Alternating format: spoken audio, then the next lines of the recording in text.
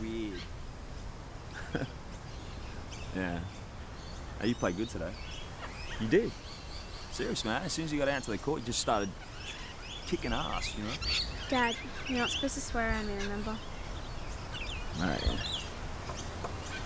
Jeez, I feel like my training was on sometimes then. Hmm. Hey, um, you've ridden a bike before, haven't you? Yeah, but I haven't ridden it since I was six. Feel like riding with me tomorrow? I know, Dad. Come on, your mum won't mind. What, I see you twice in one week, big deal.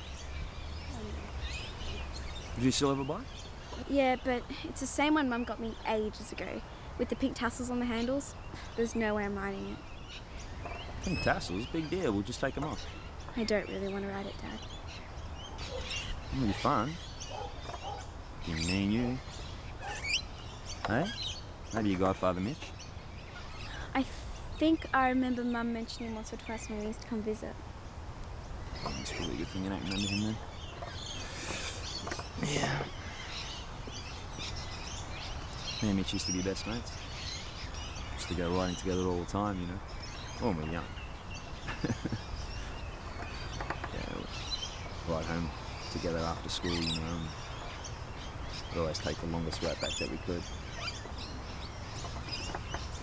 Of the time we just went to this one milk bar, you know. Because it's like on top of this hill.